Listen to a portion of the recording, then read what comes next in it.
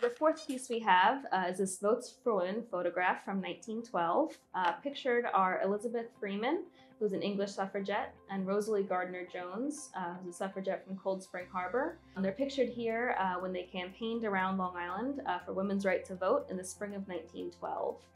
Uh, Rosalie was born into the wealthy Jones family, um, who had a 600 acre summer estate in Cold Spring Harbor uh, with a 100 room mansion. Rosalie um, organized several marches, uh, two up to the Capitol in Albany and one down to the Capitol in Washington, D.C um, to raise awareness about the struggle for women's right to vote. Um, because of these marches, she actually won um, nationwide publicity and earned the title of General Jones. Uh, so Rosalie's mother was actually an anti-suffragette, um, and she would campaign around Long Island against women's right to vote. Her mother actually called these marches ridiculous.